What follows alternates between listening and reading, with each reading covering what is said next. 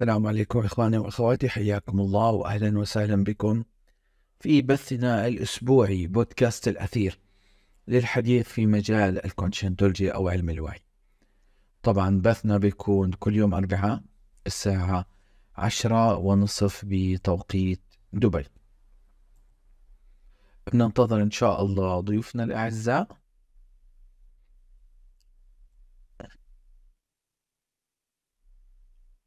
ثواني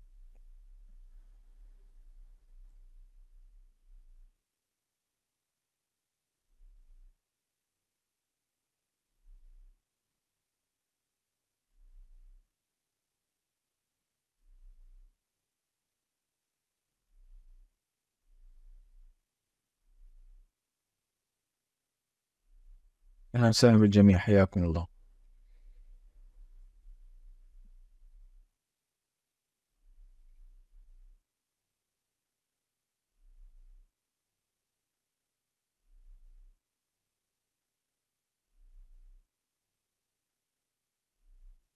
هي بس مراجعة بسيطة للبث السابق. أنا أكون معكم دقيقة. أتأكد بس إنه الدعوات يا ريت تعمل share طبعا share و like كله بيساعد.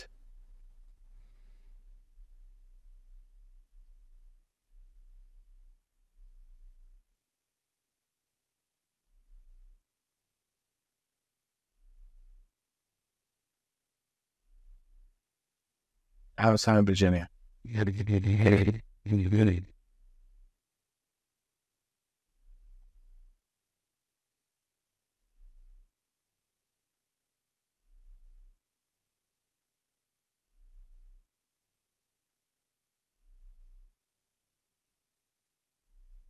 وأني ونكون معكم إن شاء الله.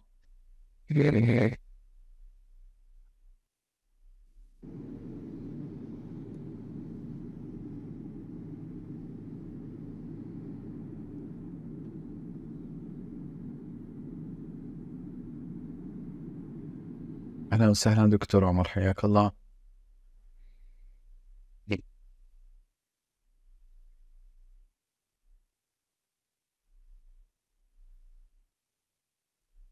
أهلا وسهلا دكتورة. أهلا وسهلا. عندي وحياك تسلم. أهلا. ضيوف الكرام أهلا دكتور عمر. يا رب تكونوا جميعا بخير. أعتقد دكتور عمر مش سامعني بنتواصل معه بس ما بقى. الله يعطيكم الله يعطيكم العافية. حياكم الله. طيب آه، نبدأ إن شاء الله محاضرة أو لقاء اليوم أو بث اليوم.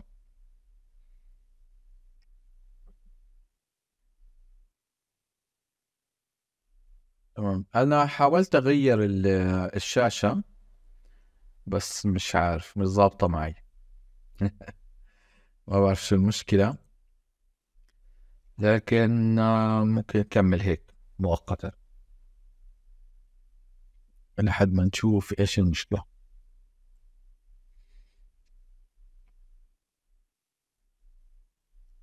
ثواني بس أشوف.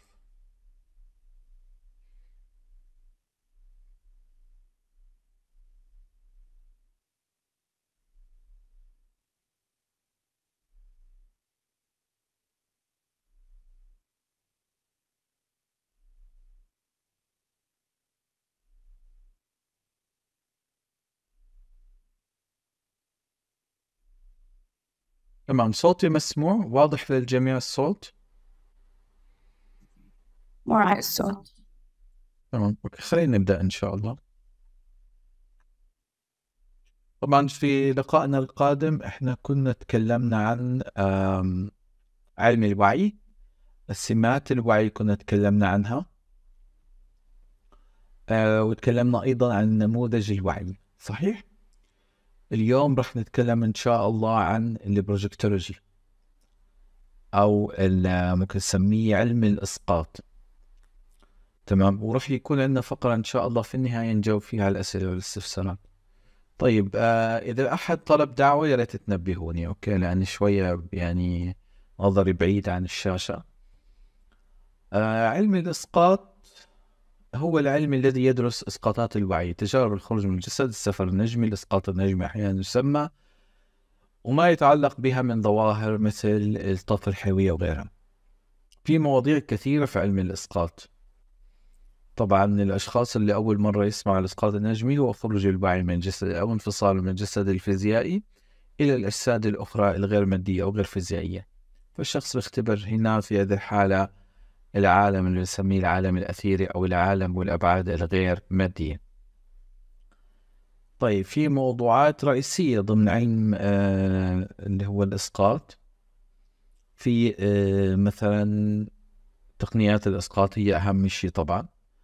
الآليات الخاصة بالخروج من الجسد التكوين وخصائص مركبات التجسيد. اللي إحنا جمعناهم بمصطلح الهولوسوما التصورات والملاحظات اللي هي خارج الجسد آه، التكوينات والخصائص وغيرها. صوت واضح يا جماعة ولا في مشكلة؟ واضح الصوت.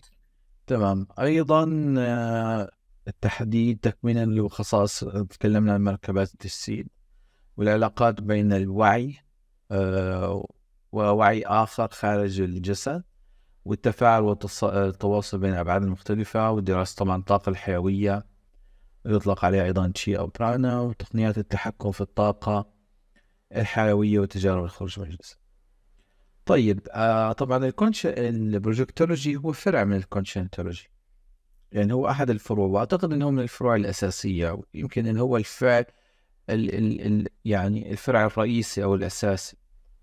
طبعا آه، اللي أنتج العلم بشكل كامل هو والدو فييرا طبيب آه، برازيلي وجمع كمية هائلة من المعلومات بناء على دراسة التجارب الخروج من الجسد. وال projectiology هو من أهم الكتب اللي أنتجها. يوجد كتاب اسمه projectiology آه، بهذا الاسم. تمام؟ فله بحث مكثف في هذا الموضوع. ودرس هذه الظواهر في كل الحضارات والثقافات القديمة والحديثة. فحديثنا هو في ال projectiology لما نيجي نتكلم عن ال projectiology إحنا حرفيا بنتكلم عن الخروج من الجسد. هذا هو ال projectiology وهذه هي فأنا أعتقد إنه لو نتفاعل مع الناس ما بعرف رأيك دكتورة أو عمر إذا نتفاعل مع الناس وأسئلتهم حول الإسقاط النجمي أعتقد ممكن يعني يساعدنا أكثر في شرح هذا الموضوع. بتوافقون رأيي ولا بتحبوا نأجل النقاشات للنهاية؟ آه يمكن آه اليوم بالضبط فعلا صح آه عن إسقاط النجم التفاعل بيوصل المعلومة أكثر بدل ما تخلي الأسئلة في الآخر يعني. آه بس المقدمة عن إنه في شيء اسمه علم الإسقاط أو البروجكتولوجي وهو بيدرس شنو بالذات. والمنهجية بتاعته وبعدين الله ندخل في الأسئلة. نعم نعم. أغلب الناس ما بيعرفوا أصلا إنه في علم يدرس تجارب الخروج من الجسد. لأنه دائما كان ذكر هذه التجارب إنه يجي شخص ويذكر أنا نمت في المنام وفي المنام طرت إلى السماوات العلى وسافرت وجئت وكذا. ينظر إليها دائما ضمن السياقات الدينية آه، أو ضمن. ضمن السياقات الثقافية. ما بنظروا إليها على أنها تجارب قابلة للدراسة. وبنظروا إليها إن حصلت على أنها أشبه بالمعجزات أو ما شابه وهذا ليس بدعا يعني من. بدعا من الشعوب دائما كل الشعوب من الصينيين إلى اليابان اليابانيين إلى اليونانيين والمصريين القدماء والهندوس وثقافة ما بين النهرين وغيرها في أوروبا كانوا يتكلموا عن الإسقاطات لكن يدرسوها ضمن الفلكلور الشعبي آه، والمعتقدات الدينية اللي كانت موجودة لديهم طيب في حوادث كثيرة. بعض الأشخاص بيقولوا آه إنه تجارب الخروج من الجسد. هل لها يعني آه إرث قديم؟ مثلا هل تم ذكرها في حضارات أخرى أو أزمان أخرى؟ نعم. من أقدم الكتابات المسجلة قصة الجندي إير الأرميني اللي موجودة في آه، كتاب الجمهورية لأفلاطون. وذكر في هذه التجربة أن هذا جندي آه، سقط من ارتفاع وعندما سقط مر بتجربة خروج من الجسد. طبعا بالنسبة آه، للأشخاص من حوله آه، هو كان ميت وكانوا على وشك أنه يحرقوه. كان في جنازة يعني. وبعدين استيقظ خلال الجنازة طبعا وأخبرهم أنه خاض تجربة عميقة جدا. وفي تلك التجربة خرج من ال- من جسده. وبعد هذا الخروج صادف يعني ثلاث مناطق. المنطقة الأولى كانت جنة غناء أو جنات غناء جميلة جدا. فيها الكثير من الأنهار والمظاهر الجميلة جدا والناس منعمون فيها آه، وغيرها. ووجد منطقة أشبه بالجحيم. كلها نيران حارقة وما شابه والناس فيها يعذبون. وجد فجوة في المنتصف آه، وأشخاص يندفعون نحوها وقيل له أن الأشخاص هؤلاء الذين يندفعون إلى تلك الفجوة سيعي- سيعيدون الحياة على كوكب الأرض. يعني هم بي- بيرجعوا للحياة. هذا الكلام طبعا عمره 500 قبل الميلاد يعني 2500 سنة.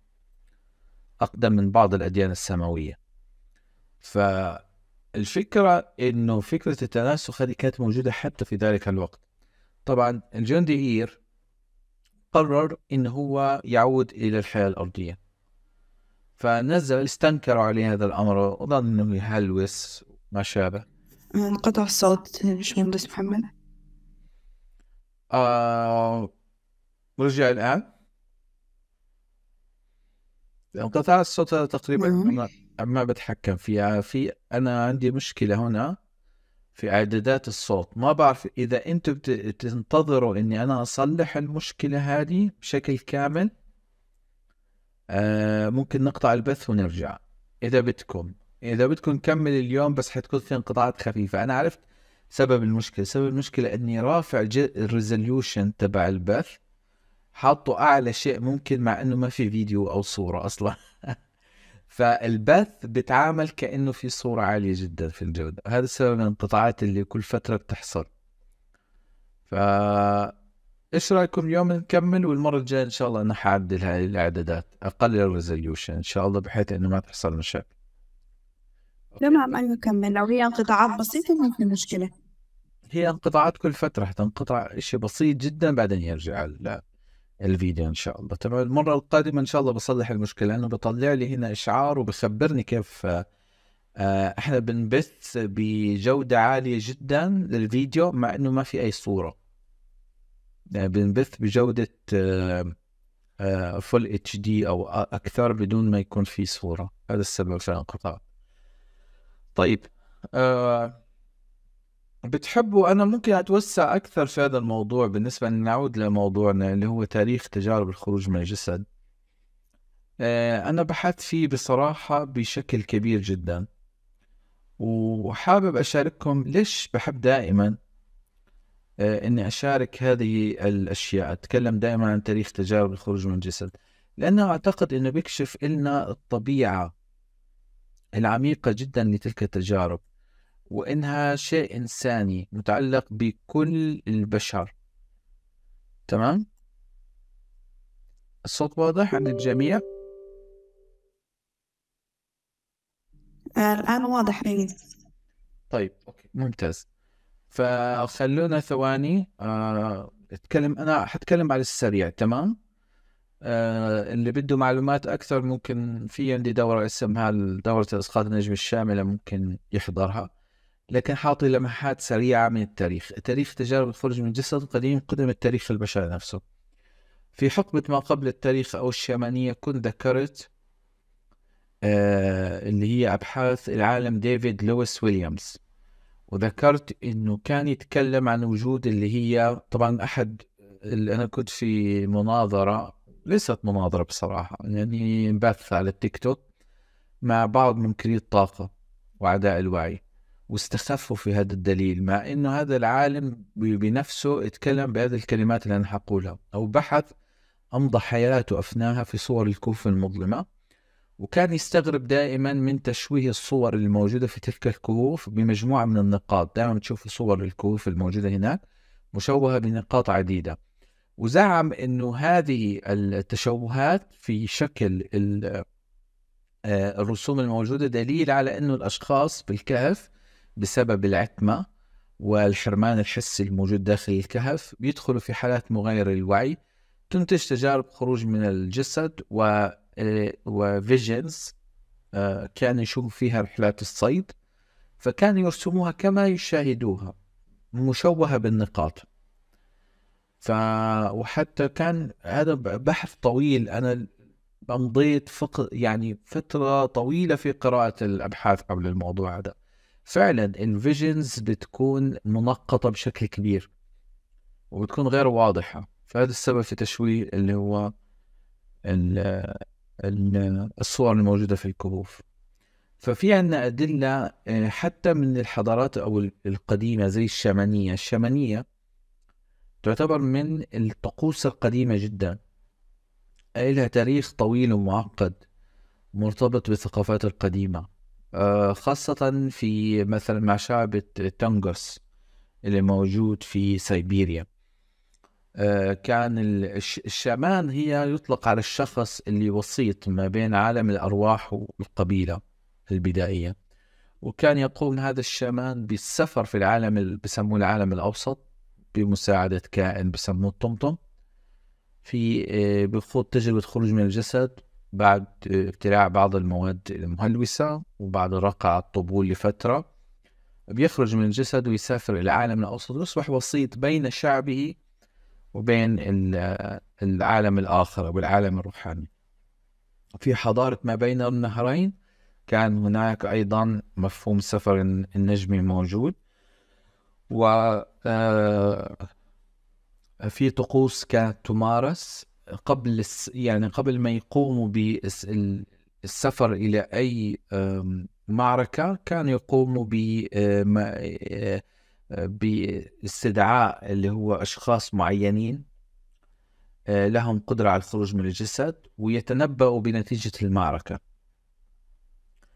آه، في في ملك مشهور كان يستعين بهؤلاء بشكل كبير اسمه أشور نابيلا أشور نيبال فكان يستخدم مثل هؤلاء في الخروج من الجسد والتنبؤ بمصير اللي هو آه، ال- المعارك. في الحضارة الفرعونية عندنا مفهوم الكا اللي هو الذي يخرج من الجسد بعد الموت آه، في كتاب الأموات. في الحضارة اليونانية كنا قد يعني تكلمنا عن اللي هو آه، الجندي لكن في كثير من من الأمثلة الأخرى آه، منها الطوائف السرية زي اليونسية وغيرها والأورفية. آه، فيثاغورس وأفلاطون والكثير من الفلاسفة تكلموا عن الخروج من الجسد. آه، بلوتاخ أيضا تكلم عنها. وزي ما قلنا أيضا في مجموعات السرية زي الأورفية وغيرها واليونسية كانت تتكلم. فيثاغورس كان أيضا يتكلم وأفلاطون كان يتكلم عنها.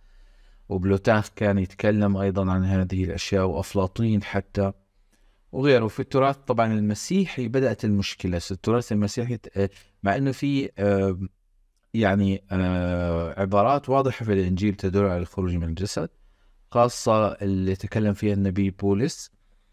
في اللي أهل كورنيث كان يتكلم عن آه، تجارب في الخروج من الجسد كان يخرج من الجسد. ويشوف آه، أشخاص عالقين في منتصف الطريق في كورنيث آه، الثانية. في آيات كثيرة تدل على رحلته هذه في. آه، في السماوات العليا وسفر حز- حزقائيل وغيرها. في كثير حديث عن هذه الأشياء. في التاريخ الإسلامي في كثير من الحديث للصوفية والسفر خارج الجسد وغيره. في البوذية أيضا في مصطلح الباردو بودي. آه، والكتاب التبتي للأموات أيضا في حديث عنه في ال... أيضا في الهندوسية أيضا في حديث عن الخروج من الجسد. وفي العصر الحديث ظهرت هذه ال... من القرن الثامن عشر والتاسع عشر شخصيات زي آه، إيمانويل آه، سويدنبورغ دي بلافاتسكي ألين كارديك وغيره من الشخصيات ذكرت تجارب خروج من الجسد. ناس يخرجون من الجسد آه في ظواهر آه يعني كانت خاصة بالحركات السرية زي اللي كانت آه في الثيوصوفية آه بلافاتسكي مدام هيلانا بلافاتسكي وغيرها. بدأت تظهر يعني حديث أكبر خاصة مع بداية القرن التاسع عشر طبعا بدأوا العلماء يحاولوا يدرسوا هذه الظواهر ويثبتوا تجارب الخروج من الجسد خاصة عند الاقتراب من الموت. آه، في تم تأسيس جمعيات كثيرة مثل الجمعية البريطانية للبحوث النفسية وغيرها. آه، من الجمعيات وبرزت شخصيات معينة زي سليفان مولدون روبرت مونرو آه، هنري برجسون وحتى جوستاف يونغ هو عالم نفس تكلم عن هذه التجارب. روبرت كروكال آه، وبعد ذلك من بداية الخمسينات والستينات بدأ يظهر لنا شخصيات زي إنجو سوان آه، يظهر لنا شخصيات أيضا زي روبرت بروس ويليام بولمان توماس كامبل وغيره من الشخصيات اللي الكثيرة اليوم في العصر هذا الحديث شخصيات كثيرة. بتدرب على الخروج من الجسد وبتتكلم عنه. مليء الإنترنت مليء الآن بهؤلاء اللي بيدربوا الناس على الخروج من الجسد. الناس اللي بيستطيعوا الخروج من الجسد بشكل تلقائي الآن بيظهروا وبتكلموا بشكل يعني علني عن تجاربهم الشخصية. وحتى بتشوفوا التعليقات عندي في الحساب بتشوفوا تعليقات لبعض الناس بتكلموا عن تجاربهم في الخروج من الجسد وكيف إنه هذا الأمر اللي أنا بتكلم عنه already هم اختبروه وشافوه. ومروا فيه بشكل تلقائي يعني. وبحاولوا طبعا لكن ليش ليش ال projectiology مميز؟ وهذا النقطة اللي أنا بحب يعني أقف عندها، إيش اللي بيميز والدو فييرا والبروجكتولوجي عن كل هؤلاء اللي بيتكلموا عن تجاربهم الشخصية وبألفوا مشكورين يعني. ألفوا كتب سواء الأقدمين زي كتاب الأموات للمصريين أو الكتاب التبتي للأموات وغيرها من الكتابات المقدسة القديمة أو الروايات الصوفية وغيرها. هذا جهد مشكور يعني لكن الشخص الوحيد اللي بحث فيه كعلم آه قائم على الملاحظة والمعلومات والتقنيات اللي يتم تطبيقها من قبل عدد كبير من الأفراد وليس مجرد اتباع للتقاليد والخرافات آه وقام بتحقيقات جادة من هذه الناحية طبعا كان ولدو فييرا. أوكي؟ آه عفوا. في أعتقد أمير بحاول ينضم لنا ثواني.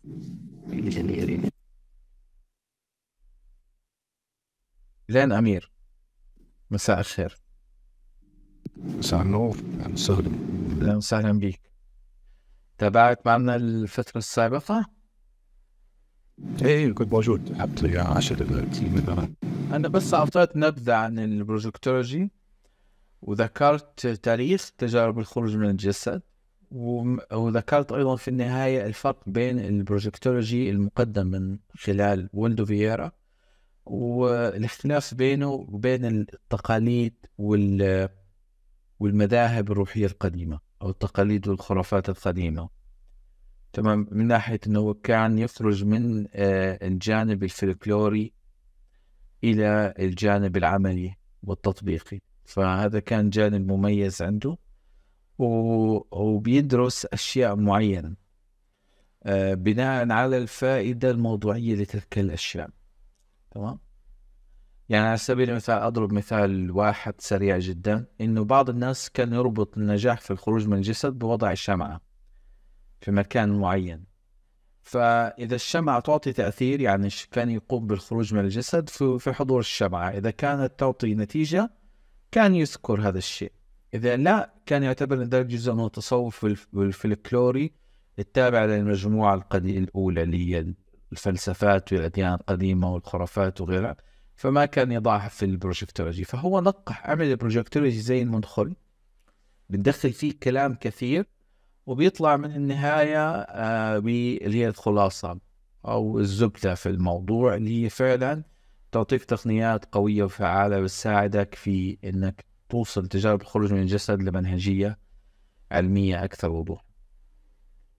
طيب آه في أي ملاحظة على النقطة السابقة ولا ننتقل للتوافق؟ أوكي أنا بس عاوزة أرجع شوية خطوة ورا لأنه يمكن في, في الأسئلة نبهنا الموضوع. آه طبعا ما قصرت تكلمت عن ما هو علم الإسقاط أصلا. آه ويعني شو إسقاط؟ لأنه في ناس آه حتى في في التعليقات كانوا يقولوا قصدكم إسقاط نجمي فمعلش إحنا ما وضحنا الموضوع. آه هو هو الإسقاط النجمي طبعا لما نقول إسقاط إسقاط نجمي وعنده أسماء ثانية كثيرة زي ما ذكر البشمهندس قبل شوية. اللي حابه بس أعمل عليه و stress وشوية كده توضيح زيادة. آه ليه علم الإسقاط أو الإسقاط النجمي مهم في في, دراسة ال conscientiology أو علم الوعي. شنو العلاقة إذا مسكنا الإسقاط النجمي أو اللي حبينا نسميه برضه الانبثاق الواعي كاسم أحسن اللي هو انفصال الوعي عن الجسد المادي مش الروح زي ما أحد ذكر في التعليقات. إذا أخذناه كده كممارسة فهو في حد ذاته ممكن ناس تشوف إنها ممارسة روحية أو ممارسة تبع عقيدة معينة هذه نقطة دكتورة هذه نقطة كثير مهمة yes. الموضوع الوعي والروح إحنا تكلمنا إنه الوعي هو جوهر الإنسان ونقدر نعم. ننتقل بين الأجسام الأربعة المتاحة له يعني جسم مادي جسم فيزياء آه، طاقي جسم عفوا جسم أثيري جسم عقلي هو بنتقل بينهم ولا يخرج ولا يدخل يعني فيش دخول وخروج نعم. يعني. ما في دخول وخروج يس فهو هو بس ك إنه إنه وعيك وين بيكون أنت في اللحظة دي. آه لكن أنا حبيت أتكلم عن فكرة إنه الإسقاط النجمي أو مسمياته الأخرى هو في حد نفسه ظاهرة طبيعية. ممكن ناس تشوفها روحية ممكن ناس تشوفها تبع عقيدة معينة لكن هو ظاهرة طبيعية ممكن تحصل لجزء كبير من الناس بطريقة تلقائية. أيوة ولكل الناس بتحصل خلالنا بس ما كله بيتذكروها لكن أنا قصدي حتى الوعي اللي هو بيتذكروه الناس في ناس كثير بتحصل لهم بطريقة تلقائية وفي ناس بيحتاجوا يتدربوا عليهم. لكن ال projectiology عمل شيء وال conscientiology عمله إنه درس هذه الظاهرة باستخدام أدوات علمية. فبقى علم. هنا بس لا ناس كثير بي بي بتخلط بين الحاجتين. لا أقول لك هو ما علم. هي هي ممارسة روحية أو أو هو ظاهر. نعم هي ممارسة روحية لكن تمت دراستها في علم الإسقاط باستخدام أدوات علمية. البحث العلمي والتوافق اللي حنجيه بعد شوية نتكلم عنه وبالتالي أصبح علم يعني زي ما نقول إنه إنه أي ظاهرة من العلم في النهاية هو بيدرس ظواهر سواء كانت طبيعية أو روحية أو غيرها بيدرسها لكن لما نستخدم فيها الأدوات العلمية حيسمى علم طيب النقطة الثانية طيب برضو حنستفيد منه شنو؟ حنستفيد شنو من, من إنه ندرس إسقاط نجمي؟ في فوائد كثيرة ممكن مش مهندس يقولها لكن أنا حابة هنا بس ربطها بعلم الوعي. كيف ندرس الوعي من خلال الإسقاط النجمي؟ لو متذكرين كنا قلنا في من خصائص الوعي انه متعدد الأبعاد. طيب متعدد الأبعاد يعني ما موجود الآن في الوعي في البعد فقط المادي اللي إحنا موجودين فيه. عشان الحاجة دي نشوفها إحنا كل شخص فينا فعلا يختبر هذا الموضوع ما بس يسمعوا في كتب أو يحكوا له ناس لأنه برضو علم الوعي بيحث على إنه إحنا ما ناخذ الكلام ونسلم به ونجربه في نفسنا. فكيف نجربه؟ نجربه بإنه نطلع من هذا الجسد المادي؟ أو يعني آه، إذا صح القول. آه، نشوف الوعي خارج الجسد المادي نختبره خارج خارج الجسد المادي. فالوسيلة اللي فعلا ممكن نختبر بها الوعي خارج الجسد المادي. نشوفه في كل الأبعاد اللي تكلمنا عنها قبل كده وكمان ممكن نشوفه في حيوات أخرى لأنه برضو قلنا من مزاياه تعدد الحيوات هي الإسقاط النجمي. وبالتالي الإسقاط النجمي أو الانبثاق الواعي هو أداة بيستخدمها علم الوعي عشان يدرس الوعي. دي هنا أهميته بالنسبة لعلم الوعي. أكيد عنده فوائد تانية كثيرة باشمهندس مقصر نتكلم عنها في الحساب وممكن يقولها بعد شوية. لكن أنا بس حبيت أربط ليه علم الوعي ماخذ علم علم الإسقاط كشيء أساسي لأنه هو الأداة بتاعته. يعني زي كأن الناس اللي بتدرس الوعي كلها أوكي يلا إحنا كلنا حنتعلم الإسقاط النجمي ده والناس تتدرب عليه ويدربوا عليه عشان إحنا حنستخدمه كأداة ندرس بها خصائص الوعي بنفسنا مش يجي شخص يحكي لنا عننا. بعد كده نرسل تجاربنا دي ونحللها ونصل للتوافق اللي حنتكلم عنه بعد شوية. بس أتمنى أكون قدرت أوصل المعلومة. أيوه دكتورة أكيد وصلت هي. آه خلينا نتكلم عن موضوع الحقيقة أو عفوا موضوع الحقيقة الموضوعية والذاتية وأهمية التوافق في هذا الموضوع. آه هذا نقطة كثير مهمة بصراحة وأنا حابب ألفت النظر إلها البحث العلمي أو في هذه الحالة في تجارب الخروج من الجسد في خبرة شخصية للباحث. تمام؟ وهذه منهجية بنطبقها. في الإسقاط النجمي بشكل شامل. وهذا اللي بيعجبني في ال conscientiology وقبلها في الأرواحيات بيعجبني هذا الدمج ما بين وكنت توصلت إليه حتى قبل آه، خلال تأليف كتابي توصلت هذه الفكرة. إنه لا يكتمل فهم أي شيء إلا بدمج العناصر الثلاثة اللي هي التجربة الشخصية الفلسفة والعين. بدون هذه الأشياء لن نصل إلى أي حقيقة كاملة. أو مطلقة. وهذا موجود على فكرة لما أجلس أنا أحيانا وهذا نادرا لكن أحيانا أجلس وتأمل الميراث الديني القديم عندنا. يعني مثلا النبي إبراهيم عليه السلام أول ما بدأ يفكر في عبادة الله بدأ يفكر في الشمس والقمر. ولاحظ كيف أن القمر يزول بعد فترة والشمس تزول فإنه لا يمكن أن تكون هذه آلهة. هذا استدلال عقلي. بعدين طلب من الله أن يحيي الموتى أمامه فأعتقد كان جمع طير مفرق على عدة جبال بعدين اجتمع أمامه أمامه مشاهدة مباشرة. هي تجربة تجربة علمية حرفيا يعني. بعدين طلب أن يرى الله أمامه. فهذا كان ليطمئن قلبه. يعني هذا هو عين اليقين زي ما يسموه الصوفية أعلى درجات اليقين اللي هي التجربة المباشرة فهذا كان من أوائل الأسئلة اللي كانت في كتاب الأرواحية. لكارديك ألين كارديك. فالفكرة أن الدمج بين الوسائل الثلاثة هذه هي اللي يصلنا إلى المعرفة. بعض الناس يندمجوا كثير في المعرفة الموضوعية أو المعرفة العلمية وبيعتقدوا أن المعرفة العلمية هي أو الموضوعية هي الطريقة الوحيدة للوصول لحقائق وهذا هراء يعني. حتى العلماء لا يزعمون هذا هذا الكلام. هي أداة أو وسيلة تساعدنا على الوصول إلى ال ال يعني درجة أكبر من الموثوقية ممكن نسميها. آه، فهذا إحنا نتعامل مع آه، في هذه الحالة في تجارب الخروج من الجسد. التوافق نبحث فيه في الروايات الفردية. يعني بتحاول نجمع روايات الأشخاص عن تجارب الخروج من الجسد. وأنا ممكن أشرح لكم إياه الموضوع هذا لكن ممكن أعطيكم مثال عملي من حياتي العملية. وممكن من هنا ت- تلمحوا أهمية التوافق. يعني إيش معنى التوافق وأهميته في حياتنا اليومية؟ على سبيل المثال في تجارب خارج الجسد وأنا كنت تكلمت عنها من بداية 2007 و2000 لما بديت أتكلم علنية عنها ذكرت تجارب موجودة موثقة. المهم اللي بضحك إن اللي حابب ينكر الموضوع الموضوع موثق يعني. إنه في موقع بيت الصفا الكويت من بداية 2008 بديت اتكلم عن تجاربي خارج الجسد وكنت أصف مدن مدن مثالية بعيش فيها الناس براحة وب... وباسترخاء وبعيشوا فيها في في تكنولوجيا متطورة أكثر كثيرا من العالم الذي نحن نعيش فيه الآن. وذكرت تفاصيل عن تلك العوالم يعني. الفكرة أني لما بدأت آه، طبعا آه، بدأت أخوض تلك التجارب. عفوا أقرأ أكثر عن تجارب الخروج من الجسد. آه، بدأت أصادف يعني آه، قراءات ممكن نسميها أو تجارب فردية.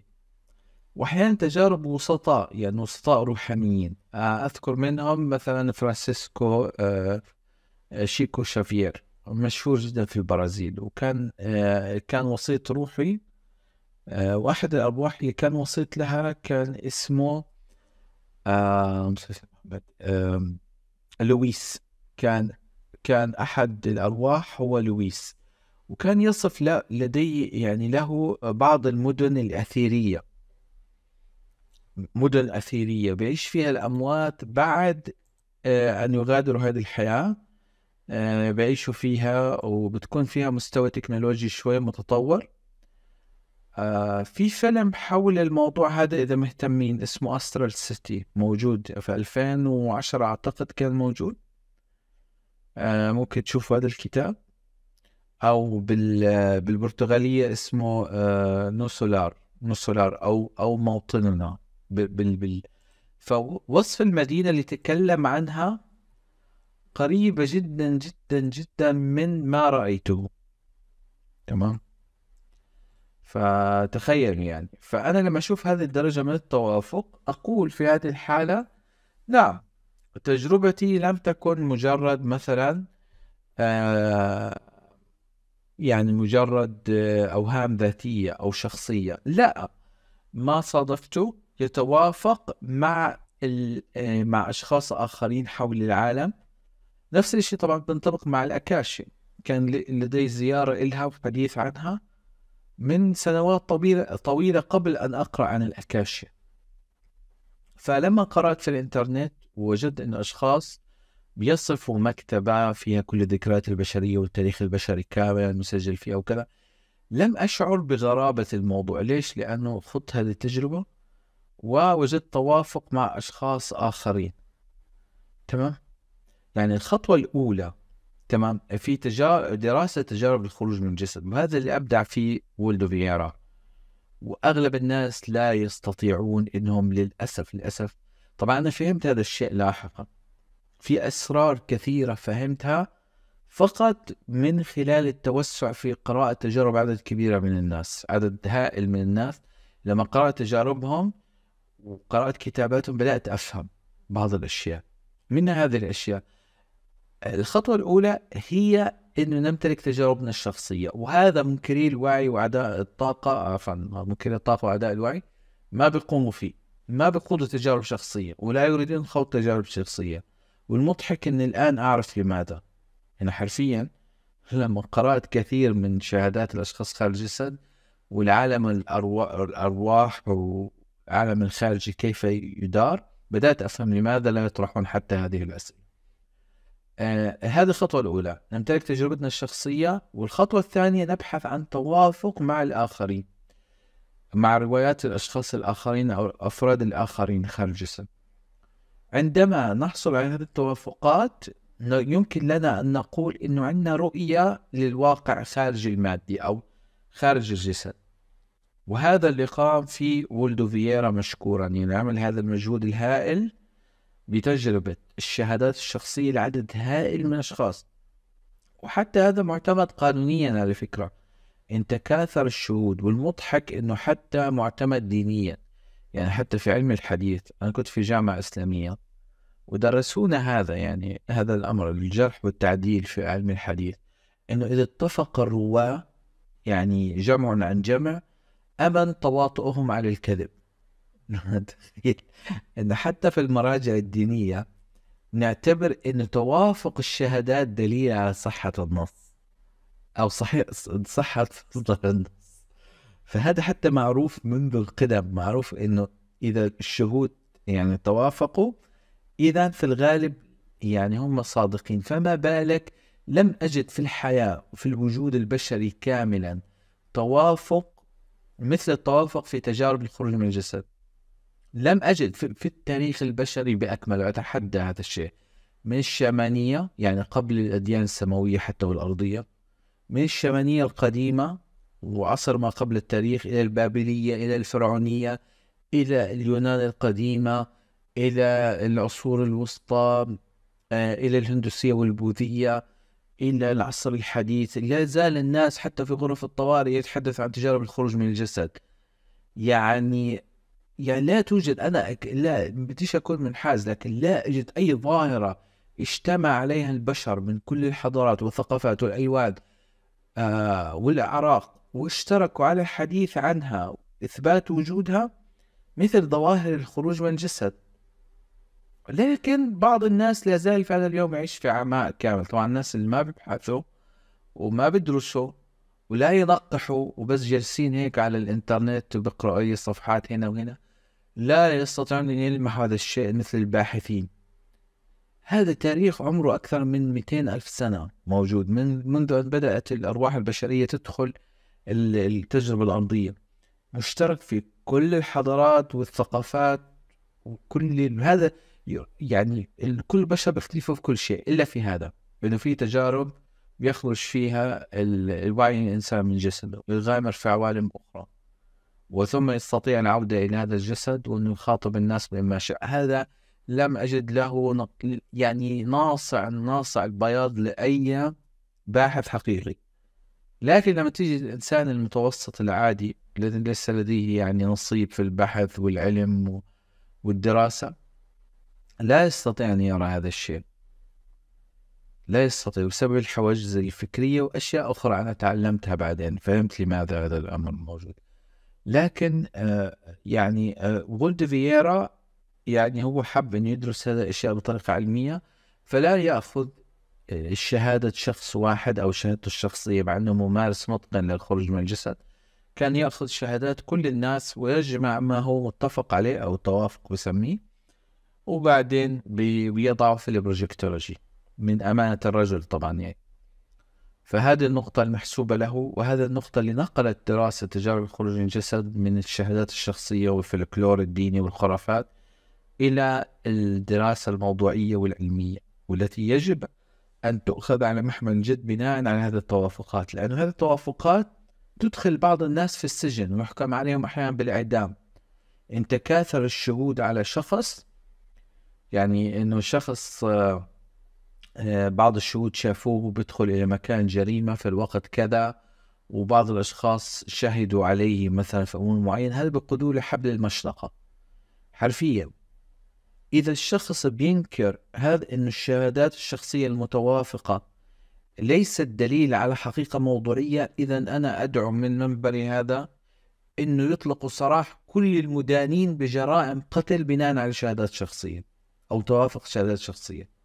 يطلعوهم كل يعني إذا أنت بتنكر على مر الحضارات والثقافات والأديان وكل الناس يعني كل الثقافات والأديان وال- والبشر هؤلاء على مر التاريخ تنكر كل ما قالوه على مر 200 ألف سنة أنا أعتقد أنه يعني هذا الشخص عنده مشكلة حرفية في في فهم معنى المعرفة الموضوعية. فعشان هيك بالنسبة إلي يعني هي ليست مجرد استدلال عقلي هي شيء أعمق بكثير من ذلك. أعتقد هيك النقطة إحنا خلصنا ممكن نأخذ الأسئلة والاستفسارات الآن؟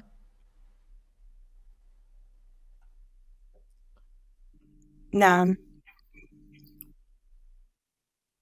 أوكي نأخذ الاستفسارات وال آه، الأسئلة. آه، ممكن تاخذيهم دكتورة؟ آه طيب. أو طبعا هو الإسقاط النجمي خطير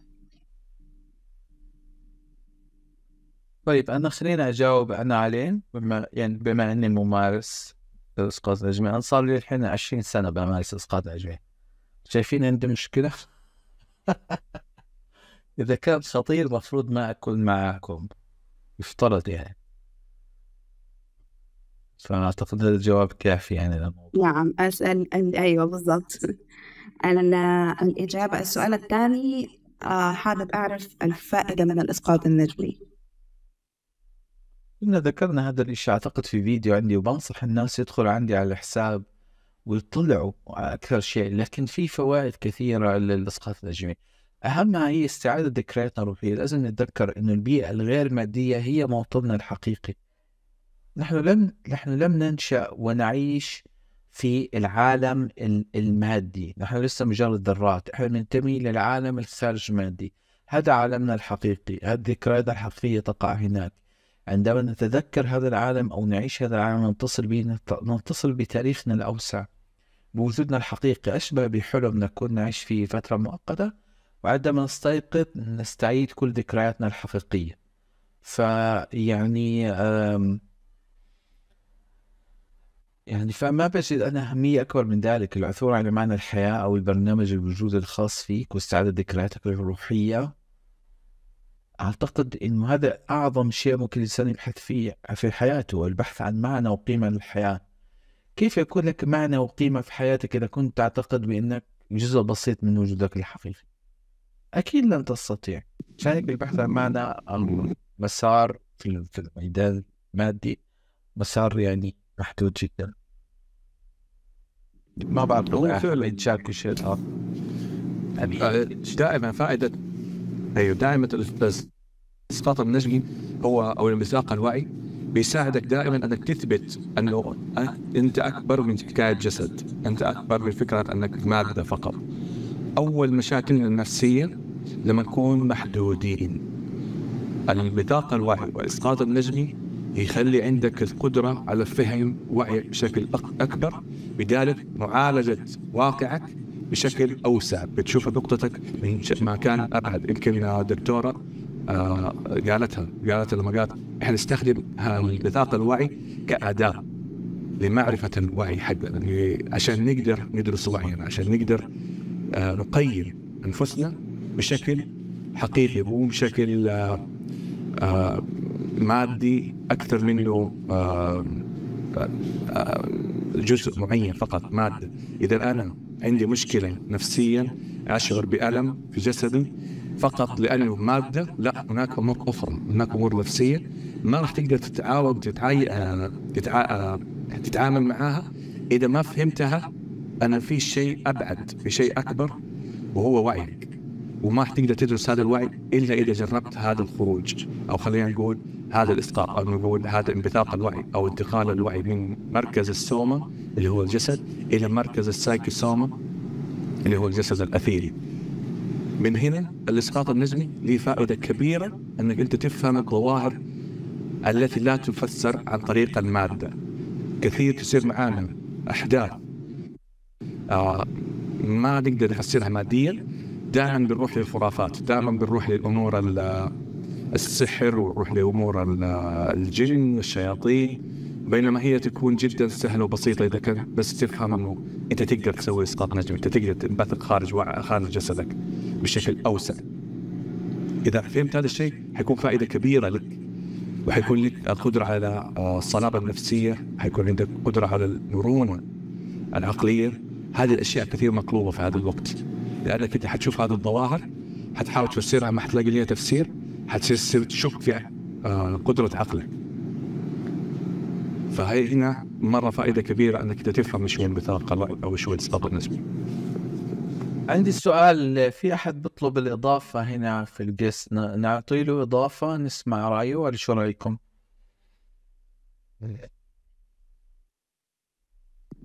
ما أدري خلصت الأسئلة. إذا خلص الاسئله افرس اسئله نخلص الأسئلة الأول تمام؟ بعدين نشوف إذا حب نقدر نضيف. آه. يعني في سؤال بيقول هل إنه البيئة يعني كيف بشوف البيئة خارج ال- الجسد؟ هل الرؤية هل تكون مثل رسمة ملونة وغير واضحة؟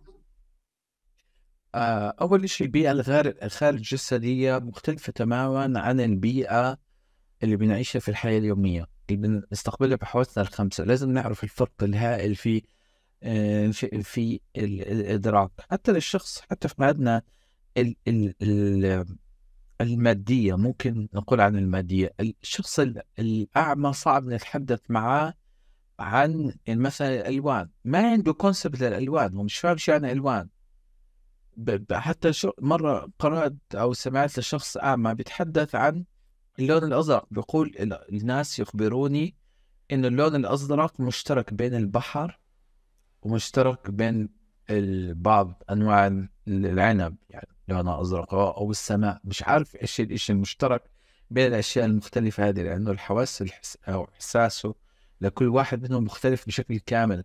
ما أعرف كونسبت ال ال ال الألوان.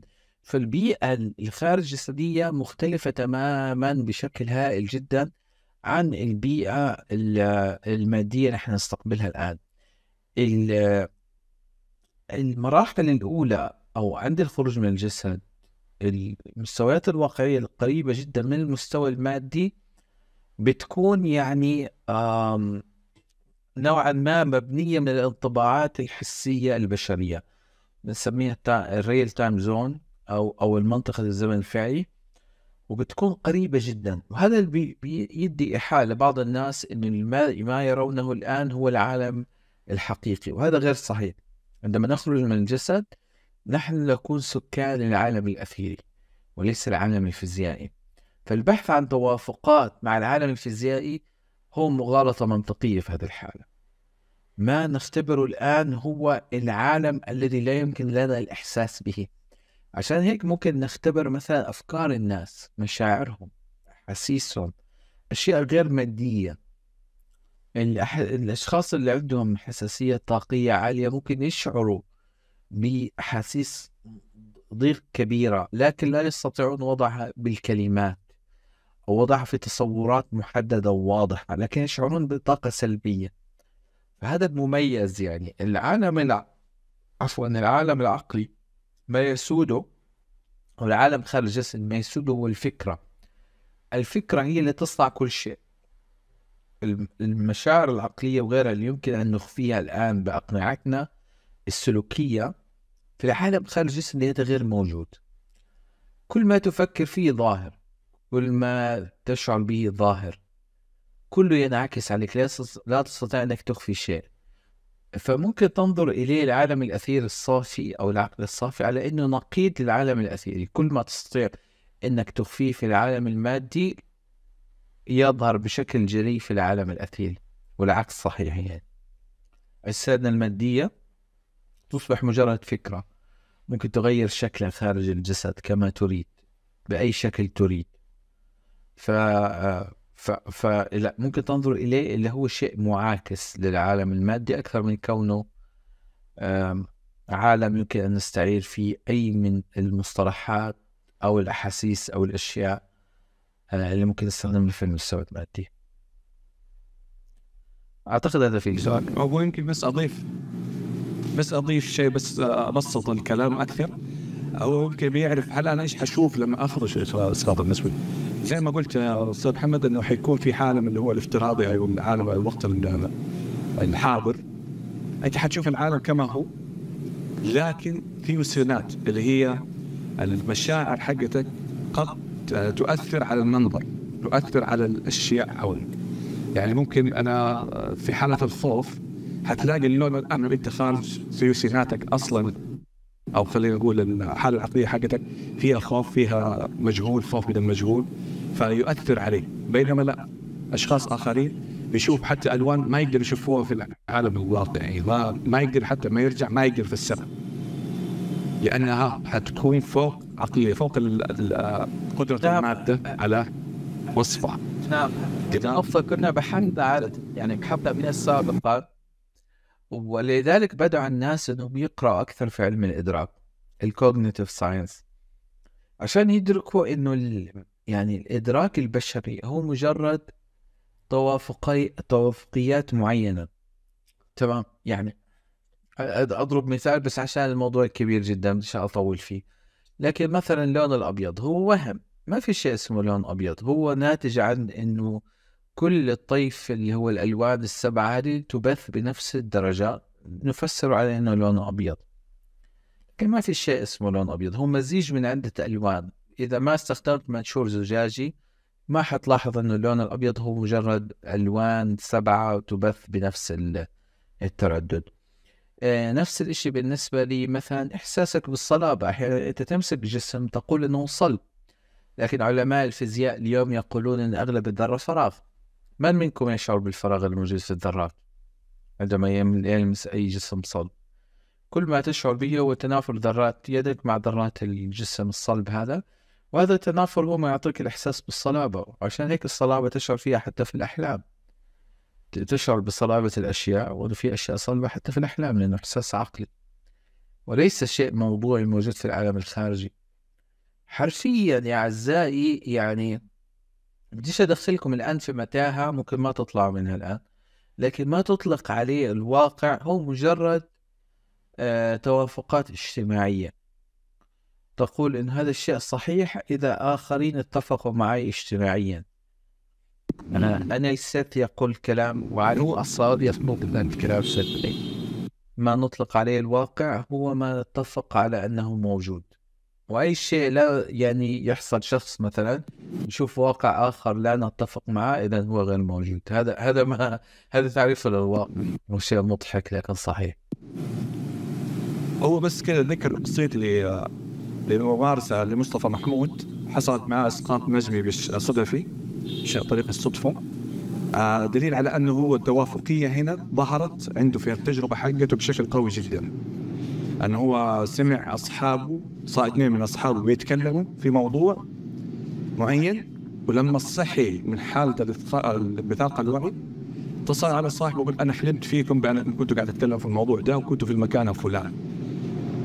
فرد عليه الآخر أنه فعلا إحنا كنا في المكان الفلاني وفعلا كنا قاعد نتكلم في الموضوع الفلاني. التوافقيه هنا بين الناس قرأت عن هذا الموضوع صحيح.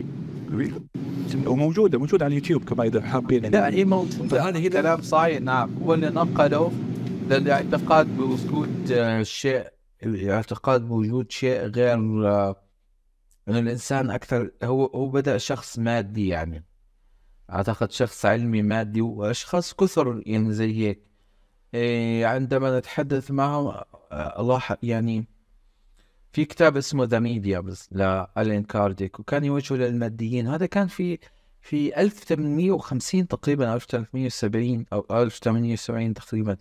يعني من ذلك الوقت كانت النظرة المادية سائدة وطاغية. يعني لهذه اللحظة اللي إحنا عايشين فيها الآن بعض الناس فعلا بيعتقدوا انهم مجموعة من الذرات المتكاثفة التي في مرحلة معينة من التاريخ سوف تتبعثر وسينتهي أمرهم إلى الأبد. لأن إلى الآن وأعتقد أنه بعض اللي بيتابعونا حتى في البث بيعتقدوا هذا الشيء.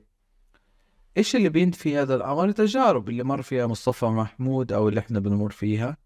وإذا أنت يعني محظوظ يعني بتمارس تجارب الخروج من الجسد بالإرادة تقدر تنفي الإشي هذا بشكل كامل يعني. تخرج من جسدك الآن الليلة وتشوف شيء وتتأكد إنه موجود فعلا أو تتخاطر مع شخص آخر. ف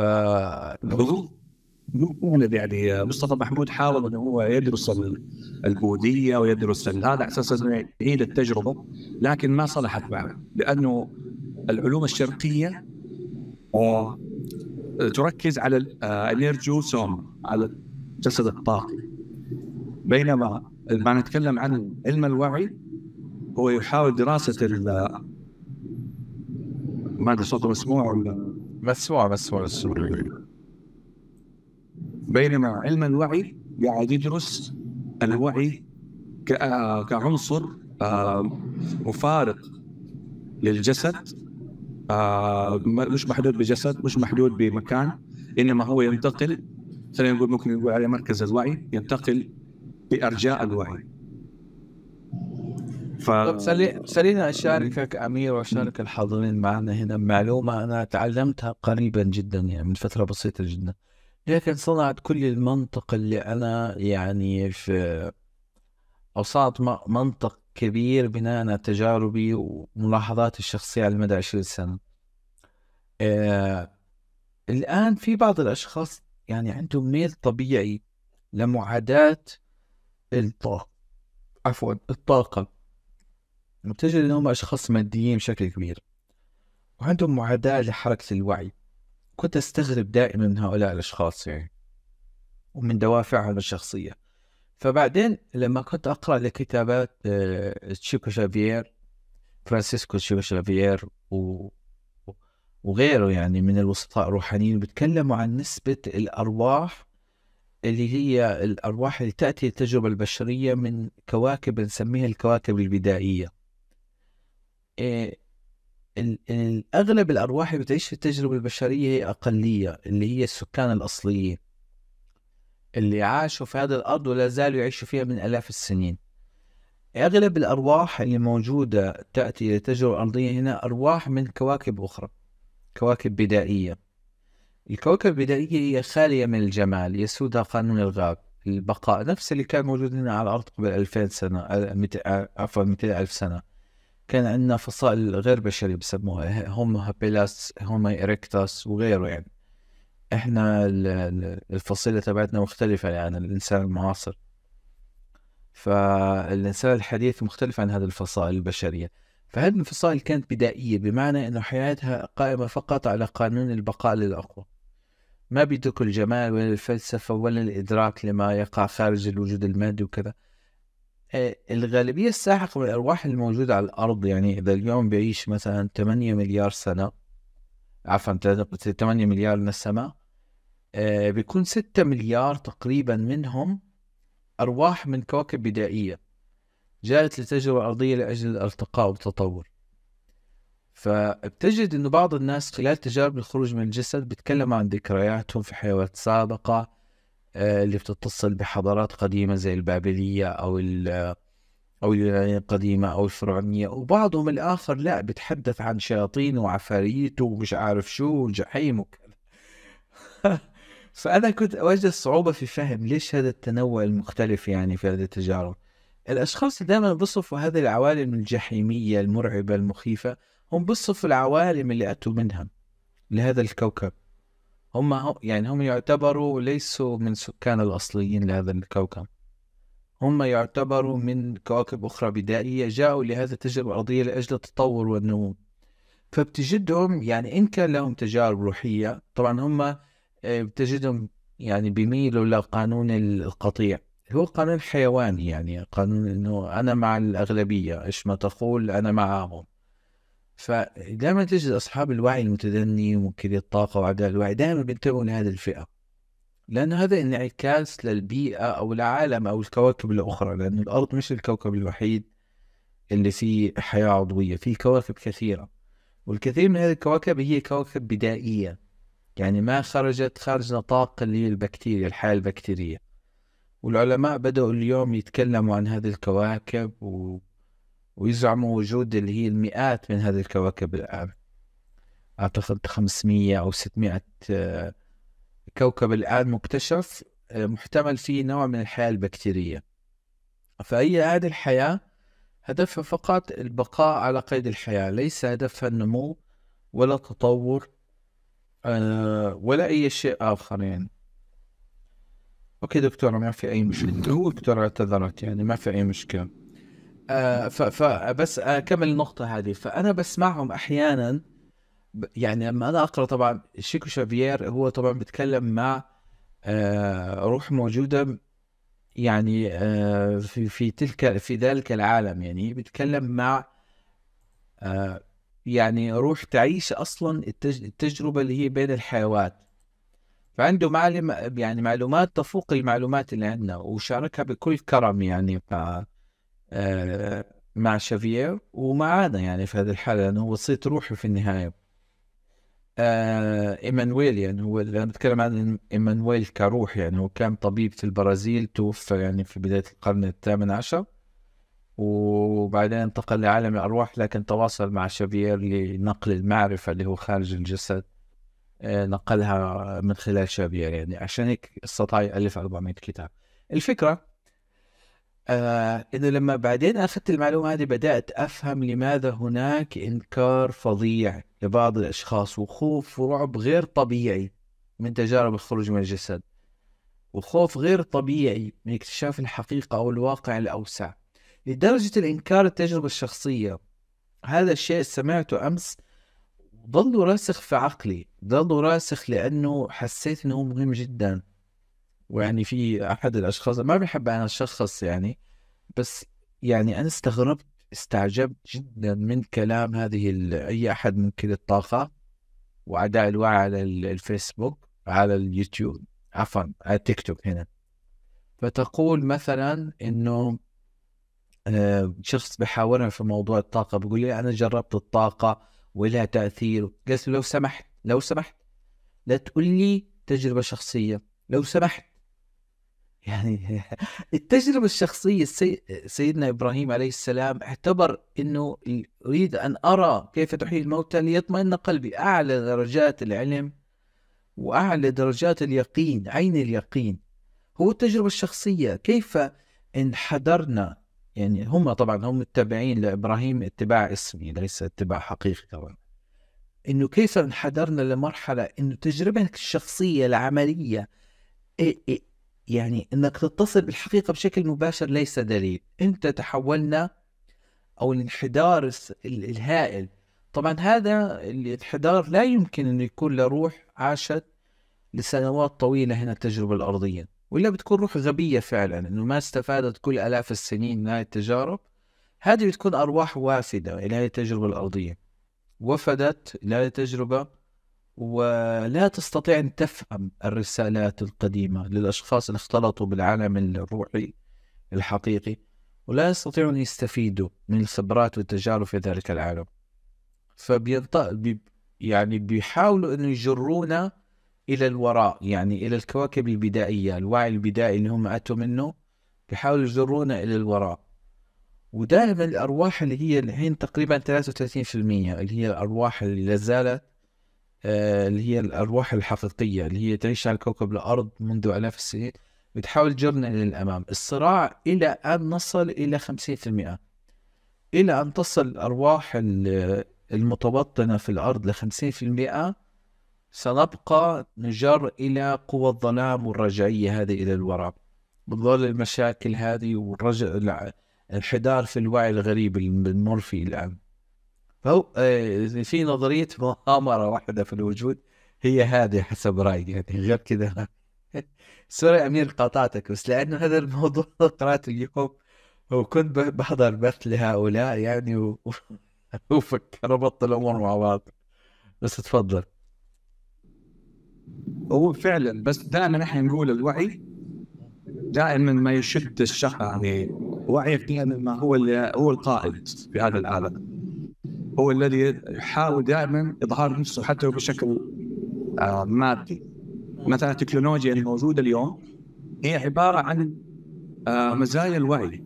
هي عبارة عن سمات الوعي. لما تشوف الهولوجرام لما تشوف التكنولوجيا بأنواعها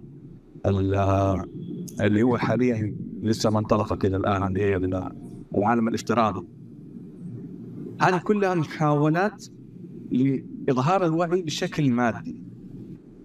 وهذا الشيء فطري فينا. يعني سواء أحببت أو لم تحب الوعي ما زال بيحاول يشدك إلى طاقاتك وإلى قوتك الإنسانية اللي موجودة فيك ويحاول يقول لك انها موجودة. وتقدر حتى في العالم المادي إبرازها بشكل آه ملموس. فأكبر دليل على أن علم الوعي وانبثاق الوعي خلينا نقول إسقاط النجم موجود؟ هي هذه التكنولوجيا الموجودة اليوم؟ اللي هي مش موجود لها نقطة أمير. طالعك بالخير. هذه النقطة الواحد بيسأل عنها بما أنه دكتورة مشت وفي هذه الأسئلة أنه بيسأل هل البقية يعني أشخاص أنا الحين أنا شافير وكلامه طبعا أنا ما باخذه على محمل الجد لكن يعني يتطابق مع ملاحظتي الشخصية. فهو بيسأل أحيانا في سؤال هنا بقول هل الباقي الأشخاص هم عمال النور؟ لا مش شرط. الآن أغلب الأشخاص ليش تجارب الخروج من الجسد مثلا؟ متفق عليها في كل الحضارات والثقافات وكلهم بيتكلموا بنفس الكلام. طبعا بالنسبة لمنكري الطاقة وأعداء الوعي هذا دليل إنه الشيطان واحد اللي بيوسوس لهم. شوف لوين بوصل الخيال. أوكي. لكن لا هم بالنسبة لهم السبب إنه آه، هذه طبيعتنا الحقيقية يعني هي وهذا هذا الجميل في الموضوع أنت بتخوض حرب أنت عارف مين المنتصر فيها. الوعي في النهاية راح ينتصر. بس يعني رسالة الوعي المتقدم في النهاية راح تنتصر. ممكن في حياتنا عادي نشوف الإشي هذا ممكن لا مش مشكلة. أنا حكون موجود في حياة بعد هاي الحياة بعد ما تنتهي حياتي هذه حكون حلعب دور اجتماعي آخر في حياة أخرى. ما عندي مشكلة في الإشي هذا. المشكلة هنا إنه إلى متى نوصل لهذه النقطة؟ اللي نعدي فيها كسكان أصليين لكوكب الأرض نعدي في المية مقابل اللي هم الوافدين الجدد هؤلاء اللي بيتون من الكواكب البدائية. بعد ما نوصل المرحلة هذه طبعا نصرتنا لقضايا الوعي بتكون مختلفة. مثلا في حالتي أنا مجرب لتجارب الخروج من الجسد ويعني موقن لحقيقتها واستعاد الذكريات الروحية. فسهل علي أن أتكلم عن هذه الموضوعات وأعلم الناس كيف الخروج من الجسد وأنقل لهم ذكريات روحية وأساعدهم في النمو والتطور الروحي وأفهمهم الصراع على الأرض. هو عبارة عن شو بالضبط وليش إحنا موجودين وما هو جوهرنا وماذا سيحصل بعد الموت. سهل أن أنا أمرر لهم المعرفة. أغلب الأغلبية الساحقة من سكان الأرض الأصليين ما بيعرفوا هذه المعلومة. ما عندهم إدراك أصلا بهذا الشيء. هم منشغلين جدا بهذه التجربة الأرضية وممكن بيحتاج لعدة حيوات عشان يبدأوا يهتموا بالجو... يتعلموا دروسهم الأرضية يبدأوا يهتموا بجوانبهم الأرضية. ممكن يحتاج هذا لمئة سنة 200 سنة. بعض الناس بيقول إنه بعد ألف سنة. لكن لو أنت قرأت كل ال- الأشخاص الوسطاء الروحانيين دائما بيقولوا إنه في مستقبل راح بيكون مستقبل مثالي. وإنه كل الأرواح المتدنية هذه راح تأتي ريح تأخذهم جميعا ويبقى فقط الأشخاص اللي هم الصالحين على هذه الأرض. وتبقى الأرض هذه منار للوعي هذا سيحصل هذا يقينا سيحصل. لكن يعني بيحتاج إلى وقت. بعض الناس بيقولوا ألف سنة بعضهم بيقولوا ألفين سنة بعضهم بيقولوا عشرة ألف سنة. أنا شخصيا ما بعرف لكن أنا موقن إنه هذا الزمن راح يأتي. وحتى أكثر الناس شراسة. طبعا الناس الشرسين هذول في معاداة الوعي هم لن يعودوا للحياة الأرضية هذه مرة ثانية. خاصة أشرار الأشخاص الأشرار جدا ما بيرجعوا للحياة الأرضية يعني بي- بيتم منعهم من العودة إليها. ف... فهم بح... يعني هذه مرحلة مؤقتة. لازم نعرف بس أنا بحكي لل- للموجودين حتى الموجودين معنا الحين في البيت. إذا أنت بتشعر في داخلك هيك إنه هذه الرسالة بت- توقظ شيء في داخلك أنت ج- جزء من الأقلية. حاليا إحنا جزء من الأقلية. الأقلية اللي استيقظت يعني مدركة لحقيقة الموضوع مدركة لما يحصل. طبعا لازم تفحص دائما داخلك وتعرف إحنا جزء من الأقلية. وحنضلنا جزء من الأقلية لفترة معينة يعني 33% عددنا حاليا 70% هدول غرباء. جايين فترة هنا بالوعي البدائي تبعهم آه، حتى يسحبونا معهم. فهذا اختبار إلنا واختبار إلهم. اختبار إلهم لتطور الوعي عندهم يبدأوا ينتقلوا للوعي الأعلى درجات أعلى. واختبار إلنا إحنا كيف نستطيع التعامل معهم. ونستطيع نحن نتسامح ونستطيع نحن نستطيع نحن نفهم أو نستوعب وجودهم لأنه في النهاية كلنا أرواح. مهما كان درجات التطور يعني درجات بدائية ومتقدمة. فهي درس لنا جميعا. التجارب هذه الحسية الجسدية كلها تجارب المادية. هي مجرد تجارب لنا كأرواح. نبحث عن المشترك على آه، في مقابل الاختلاف. لما لما تستوعب الموضوع هذا طبعا لما تستعيد ذكرياتك الروحية هو شيء مختلف تماما. تستعيد على أعتقد إن هي من أعظم التجارب اللي ممكن يختبرها الإنسان لما تستعيد اسمك القديم. يعني تعرف اسمك في الحياة السابقة إيش كان. تستعيد ذكرياتك بالضبط إيش اللي صارت يعني في حياتك السابقة. فتدرك إنه حياتك الحالية هذه إكمال الحياة السابقة ومسيرة تطور هائلة جدا في الوراء. أعتقد انه هذه آه، معلو يعني لا تقدر بثمن. لأنه هذا المعنى الحقيقي لوجودنا. أي شيء آخر هو هراء وتفاهه يعني عشان أكون صادق. يعني حتى الكون كله حسب علماء الفيزياء راح ينتهي بعد مليارات السنين. راح تتباعد الذرات عن بعض البعض ويدخل الكون في شيء بنسميه ال- التجمد السرمدي أعتقد إنه الذرات تتباعد بشكل كبير وانخفض حرارة الكون إلى درجة التجمد يعني. فما في أي شكل من أشكال الحياة حيبقى. الأرض هذه اللي بنعيش فيها راح تباد بعد أعتقد أربعة مليار سنة حتتمدد ال- ال- الشمس لشيء بنسميه ريد جاينت أو العملاق الأحمر. وتبيد كوكب الأرض وكل الكواكب الموجودة في ال- المجموعة الشمسية الداخلية. فأصلا حتى الحضارة البشرية في يوم من الأيام كلها ستباد يعني.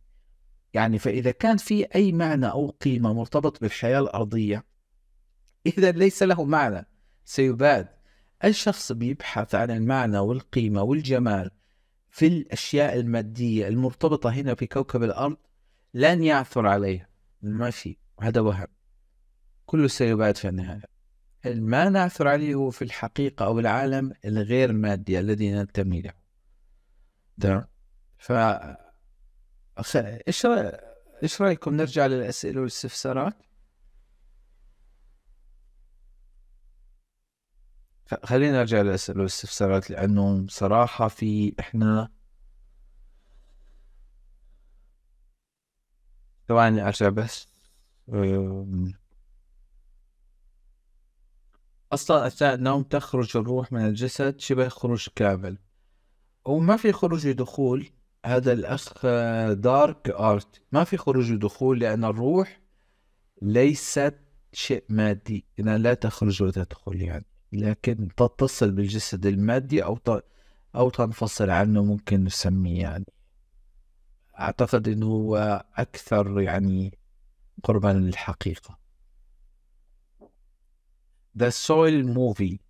كلمة آه هذا ليس الموفي اللي أنا تكلمت عنه ليس هو The Soil Movie. أنا تكلمت عن ال The, the Astral um, Astral City. A Spiritual uh, Journey uh, طبعا أو اسمه Nosso Nosso Lar Nosso Lar ممكن تبحثوا عنه وتجدوه okay؟ فهذا الفيلم ممكن تجدوه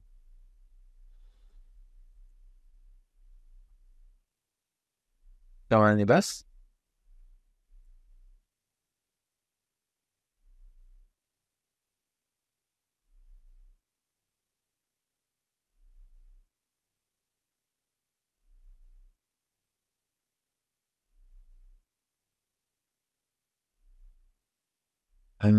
طيب آه، نشوف الأسئلة التالية.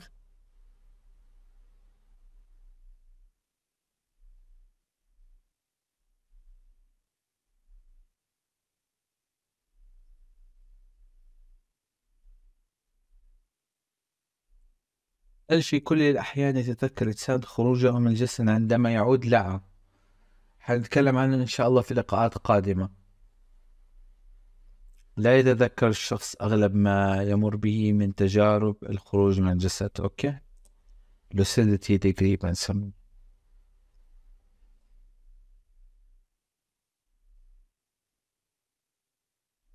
ضايل لنا بس 12 دقيقة.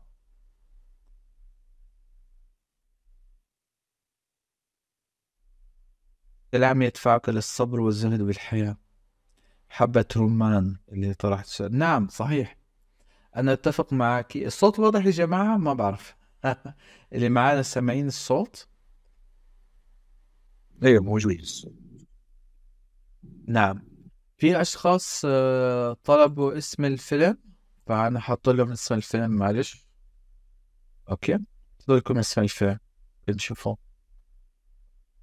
طيب آه، يدفعك للصبر. هذا الكلام يدفع نعم أنا أتفق معهم. يدفعك للصبر و والزهد بالحياة. نعم لما أنت تنظر للحياة المادية على إنها جزء ليس وجودك الحقيقة هو جزء من وجودك. يعني هو أنت تجربة أرضية. يعني مثل شخص يدخل المدرسة المدرسة الابتدائية. في بعض الناس بيعتقد مثلا المدرسة الابتدائية حعيش فيها إلى الأبد. وفي بعض الناس لا أنا حعيش فيها مرحلة بعدين أنتقل إلى مرحلة أخرى. تمام؟ الأشخاص الأرواح المتقدمة لما تدرك طبعا تاريخها الروحي وتخرج من الجسد وتقابل المساعدين الروحانيين وتختلط بالعالم الروحاني ويصير في هذا الحوار العميق تبدأ تستعيد ذكرياتها تبدأ تعرف حقيقة التجربة الأرضية. إنه مجرد تجربة لكن الأشخاص اللي هم بخوضوا التجربة على إنها العالم الحقيقة وعندهم شك بوجود عالم آخر راح تكون تجربتهم جدا ضيقة. وهذا بالطبع لن يستطيع أن يعطيهم أي معنى للصبر أو الزهد بالحياة. وهذا الإشي أنا كنت أسأله يعني أنا كنت أعتقد الأمانة أح- أحكي شيء يعني مصارحة هيك روحية. آه، أنا كنت أعتقد في البداية كنت ألوم دائما حظي يعني كنت أعتقد إن أنا حظي عاثر. تمام؟ وكنت أعتقد إنه آه يعني أنا ما ما ولدت في ظروف يعني مثالية كانت ظروف سيئة جدا. فكنت أستغرب من ميلي للأمور الروحانية. وليش بخوض دائما تجارب روحية عميقة جدا مع أني لا أقصدها ولا أريدها ولا أهتم فيها. فوجدت في النهاية إنه لا يعني أنت بتعتقد دائما إنه حياتك عديمة المعنى والقيمة وأنت غارق وسط مليارات من البشر. وأنك مجرد تفاعل بين ظروف الحياة التي لا تتحكم فيها أنت ضحية للظروف اللي حولك. لكن الحقيقة الحقيقة عكس ذلك تمام أنت وجودك هو الحقيقة والظروف هذه كلها وهمية. هي مجرد توافقات معينة. آه، تم حسابها سابقا قبل وجودك حتى للحياة. فلما تدرك أن وجودك سابق لهذه التجربة وسيستمر بعده بيساعدك على استغلالها بشكل أفضل. وهذا صرت لما يعني هذا الفرق بين الأشخاص الأرواحيين والأشخاص العاديين. طبعا الأرواحية من جديد هي عقيدة يعني. لما تبدأ أنت تشوف الأشياء في حياتك اليومية تمام؟ تبدأ تولي الانتباه لها لأنك تعرف أنه لا شيء يحصل صدفة. فلما تجي التجربة سيئة بتعرف أنه الهدف هو أنك تكتسب الصبر قيمة الصبر ترفعها عندك. غير أنك أنت تختبر هذه التجربة وتعتقد أنك ضحية. إذا كنت تعتقد أنك ضحية إذا لا شيء يمكن أن تفعله كان سيغير النتيجة. بالتالي ما في شيء ممكن تتعلمه. أنت مجرد نتيجة وليس سبب. لكن إذا كنت تنظر أنه أنت موجود سابق لهذا الوجود المادي وستبقى بعده إذا تعتقد أنه ما بين هؤلاء هو توقع معين لروحك لأن روحك سابقة للزمن. أكيد توقعت هذا وجود هذا الشيء. ووضعته لسبب معين. ففي هذه الحالة أنت بتستطيع كإنسان آه، كجزء من روحك أنه تستطيع أنك تفهم أنه هذا موجود لمعنى أو غاية أيا كانت التجربة. وهذا بيعطي حياتك ميزة وقيمة وأهمية. أنا ما بعرف إذا الناس اللي معنا مستشعرين أهمية الموضوع بس هذا بيعطي أهمية وقيمة هائلة للمعنى يعني سواء كنت حياتك يعني جندي قائد عسكري رئيس دولة زبال آه، عالم فنان مش مهم رجل مرأة طفل مش مهم هذا كله ما له أهمية. الأهمية هي تجربتك البشرية الحالية إذا كانت أهميتك أن تعيش مثلا كرجل أو مرأة أو طفل أو, أو, أو عالم أو زبال أو هذا هذا هو المهم. أكيد هذه راح تمنحك الصبر الحياة لأن لأنها راح تعمل لك تواصل مع ذاتك الحقيقية. وتفهم ليش أنا بخوض التجربة هذه. ممكن أنا أكون طاغية تمام؟ في حياتي السابقة زي صدام مثلا. كنت طاغية. وبعدين الحين في التجربة الأرضية هذه لازم أكون شخص, شخص مقموع. عشان أعرف إيش يعني أكون ظالم بعدين مظلوم. أقدر أفهم الشعور هذا ولا كيف أقدر أسيطر على مشاعري وأحاسيسي وأفكاري فهذه كلها نطاق في النهاية هذا كله هذه تجربة أرضية هدفها في النهاية نختبر كل طيف التجربة البشرية كاملا. ما في إنسان بيطلع مظلوم. اللي بيطلع مظلوم بس هو اللي ما بينفتح على ذاته. وعلى تجربته الشخصية فقط غير هيك ما في. أوكي آه ما هي الطرق للوصول لإسقاط النجمي؟ في تقنيات كثيرة تكلمت عنها وعندي دورة في فبراير القادم وبنصحكم تنضموا إليها. اللي حابب فعلا ياخذ الإسقاط النجمي على محل الجد في دورة في 15 فبراير القادم انضموا إليها وسجلوا فيها من بدري وإن شاء الله رح نتكلم ونناقش عمل زي ورشات عمل ونناقش فيها كل الموضوعات الخاصة بالخروج من الجسد من التقنيات إلى المخاوف إلى ال آه، إلى التجربة المباشرة إلى كل شيء. أوكي. اسم الفيلم وضعته هل صحيح أننا نختار طبيعة حياتنا وأهلنا على على الأرض قبل الولادة؟ طبعا هذا الكلام نعم صحيح إلى حد ما. كيف إلى حد ما؟ أغلب حياتنا مقدرة سلفا أنا بحكي لكم طبعا من التجربة المباشرة الآن يعني هذا ما عندي دليل عليه. أغلب حياتنا مقدرة سلفا الغالبية الساحقة منها. النقاط الهامة في حياتك يعني مثلا أن والدك يموت آه، مثلا آه، في مرحلة مبكرة من طفولتك. تأثير البيئة الخارجية. والله في كلام كثير أحكيه بس ما ما في وقت كافي. أوكي عندي خمس دقائق. آه، خارج الجسد أنت عندك قدرة أنك تشوف الزمن بطريقة مختلفة وعندك قدرة أنك تنسق مع الأرواح الأخرى اللي بتخوض معها التجربة الأرضية. بما فيها أبوك وأمك وأخوك وأخوك وكل الناس اللي حواليك. عندك قدرة تنسق معهم وإلا إذا في شخص هو اللي بيرسم مسار حياته حيظلم الآخرين. في شيء بسموه ال soul group يعني الأرواح بت- بتخوض التجربة الأرضية مع بعض فبينسقوا مع بعض. okay؟ وكل واحد بينسق بما يتناسب مع برنامجه التطوري يعني في أحد بينقصه مثلا يتعلم الصبر فبخوض تجربة فيها الظلم. في شخص بينقصه مثلا يتعلم السيطرة على غضبه فبيلعب دور الظالم. هي زي مسرحية نستفيد منها جميعا. فتنسيق هذا بيتم قبل في المسافة اللي بين الحيوات يعني بين الحياة السابقة واللاحقة. فبصير تنسيق فيها فأغلب حياتك هو مرسوم سلفا. ما في إشي ممكن تعمله حياله. تمام؟ لكن هذا ليس يعني لا يعني إنك أنت حتنجح أو ترسب ممكن أنت تخوض كل التجارب اللي أنت رسمتها سلفا لكن تفشل فيها جميعا. وتقلب كفيك على ما ضيعته في هذه الحياة وتعود حياة ثانية ترجع آه، تخوض الحياة الأرضية مرة ثانية وتتعلم نفس الدروس اللي أنت ضيعت الوقت فيها. هذا بيحصل. تمام؟ آه لكن ممكن انه أنت لا آه ترسم هذا المسار وتستفيد منه. مش هذا المهم. المهم إنك تجد المعنى والقيمة في أي مسار مهما كان. أوكي؟ يعني آه عشان هيك معنى وقيمة الحياة بيختلف من شخص إلى آخر. عند الأم مثلا معنى وقيمة حياتها ممكن يكون رعاية أطفالها مثلا. تمام؟ لكن هي ليست مرأة ولا رجل ولا طفل. يعني هي روح خالدة سابقة للوجود في هذا المسار اللي بيعتقد بأنه البشر متساويين في ظروف حياتهم بمعنى القيمة والوجود إنسان سطحي في التفكير صراحة. لا يمكن إنك تقارن الانسان اللي يعيش ضنك العيش ويقاتل طوال حياته لأجل لقمة العيش.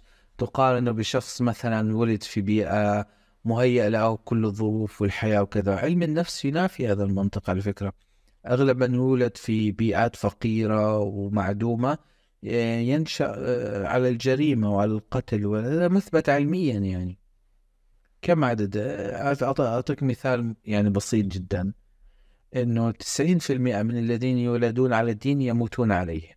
90% إذا أنت ولدت مثلا على المسيحية ستموت عليها أو البوذية ستموت عليها أو على الإسلام ستموت عليه 90% يعني البيئة تأثير البيئة أكيد له تأثير هائل جدا. إذا بتعتقد أن أنت مجرد عن تأثيرات البيئة أو الأحداث اللي سابقة لك في الوجود هذا تضحك على نفسك. أكون صريح يعني. كن صريح. ما لا زلت بضحك لأنه كان في شخص زي هيك كان كان يعتقد إنه إنه في عدالة كونية معينة. إنه أنا مثلا عشان أنا فقير أنا عندي راحة البال والغني آه عايش دائما هيك مضطرب وقلقان وكذا. أنا بعرف كثير أغنياء مرتاحين البال يعني على فكرة يعني. هذه كلها روايات وقصص مضحكة بنقنع أنفسنا فيها. إذا بيجيني في الأرواحية والكونشنتولوجي بشكل عام إن هي مقنعة عقليا. يعني بتتوقف عن التفاهات وعن الكلام السخيف وبتدخل في التفاصيل الدقيقة اللي ما كانت متاحة للناس سابقا. الناس قبل 2000 و1400 وكذا سنة في الماضي كانوا أشخاص محدودين في محدودين في الوعي ما كانوا قادرين على استيعاب المفاهيم العميقة والتحديدية اللي متاحة لنا اليوم. فالأرواح تنقل إلينا وتجاربنا المباشرة في الخروج من الجسد تنقل لنا معرفة محددة جدا. لدرجة الأرقام الدقيقة جدا. يعني أعتقد آه، آه، تشيكو شابير كان ذكر عدد الأرواح بالضبط الموجودة خارج المجال الأرضي 22 مليار روح اللي هي المتجسدة وغير المتجسدة. بيذكروا لك بالضبط نقاط معينة موجودة في الجغرافيا البشرية اليوم جغرافيا الأرض. تحديدا إحنا ما كنا قادرين على استيعابه أصلا. بعض الناس قبل 2000 سنة كانوا يعتقدوا هذا مسطح أصلا. فإحنا في مستوى وعي مختلف تماما الآن عن اللي كانوا عايشين زمان. عشان هيك في أشياء ممكن نبدأ نستقي منها ونستفيد منها الآخرين كانوا محرومين. آه طيب ليس عندي وقت للقيام بالإسقاط النجمي بسبب العمل المرهق. هذا الجميل الإسقاط النجمي يحصل خلال النوم. يعني أنت كل يوم بتضيع 8 ساعات شاشة سوداء ما بتمارس فيها أي شيء. بدل ما يضيع الوقت في النوم الثمان ساعات ثلث حياتك ممكن تمارس فيه الإسقاط النجمي يعني إنك توعى بتجارب الخروج خلال النوم. آه، نزلان أو أو أو أو my The Astral City موجود موجود على الإنترنت. نزل آه ممكن تكتب اسم الفيلم كتبته أكثر من مرة. مش عارف ليش الناس آه. طيب. كتبت اسم الفيلم مرة ثانية ما بعرف إذا واضحة. من هو المنسق أو المخطط لحياتنا؟ هل ممكن أن نقوم نحن أو ما نرسم مسار حياتنا؟ في آه، طبعا كل مجموعة روحية. طبعا هذا هتتعلمه بعدين بس لما تخرج من الجسد هتتعرف على شيء بنسميه ال evolutionist أو المنسق الروحي المنسق التطوري. هو بنسق بين الأرواح المختلفة لأنه أنت ما بتخوض التجربة الأرضية لوحدك. بتخوضها مع مجموعة من الأرواح. الأكثر روح متقدمة بين هؤلاء بسموها ال evolutionist أو التطوري وهو المسؤول عن تنسيق الأدوار هذه. زي زي قائد الأوركسترا هو بنظم إنه أنت في هذه الحياة أنت حتكون والد هذا الشخص. في الحياة القادمة حتكون أنت ابنه. في الحياة اللي بعدها حتكون أنت أخوه وما شابه. فأنت حتى بتصير قابل هذا الشخص أو هذه الروح المتعمقة جدا وبتصير تنسق معها حتى الحياة القادمة. اللي كيف حتصير الحياة اللي بعد هذه الحياة من شدة التواصل مع الحقيقة في هذه الحالة. فالإيفوليوشنست هو المسؤول عن هذا الشيء.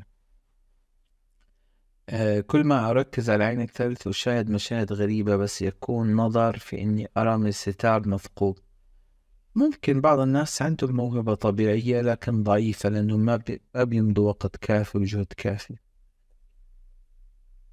شكرا جزيلا على مشاركتنا هذه المعلومات القيمة. أهلا وسهلا.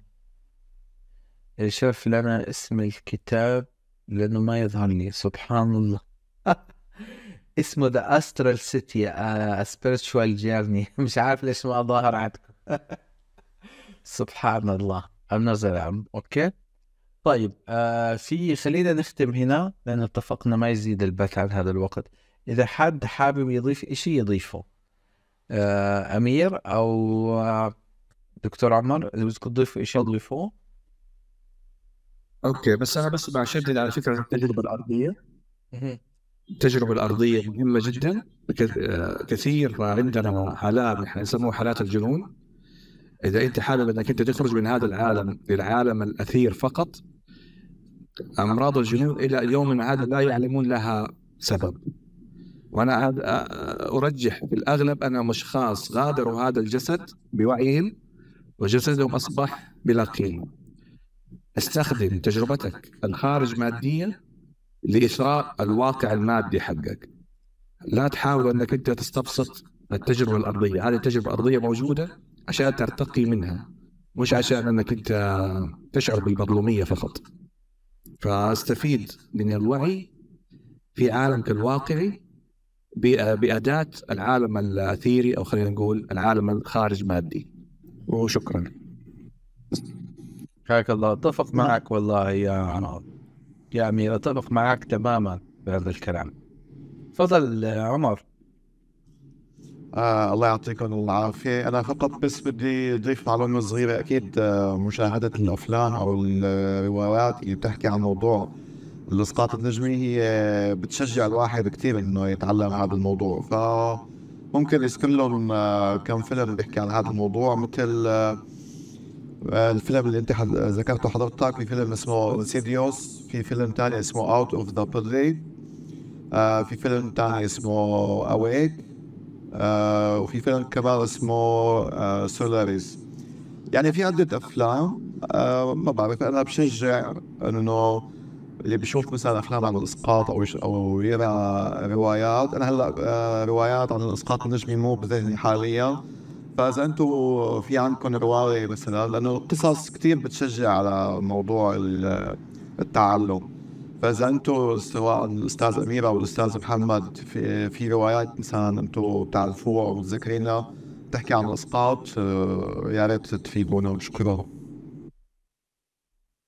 في آه بتحب تشاركنا أمير ببعض الأفلام أو الروايات حول الخروج من الجسد؟ حاليا والله ما استحضر. لكن اذا عندك؟ نستفيد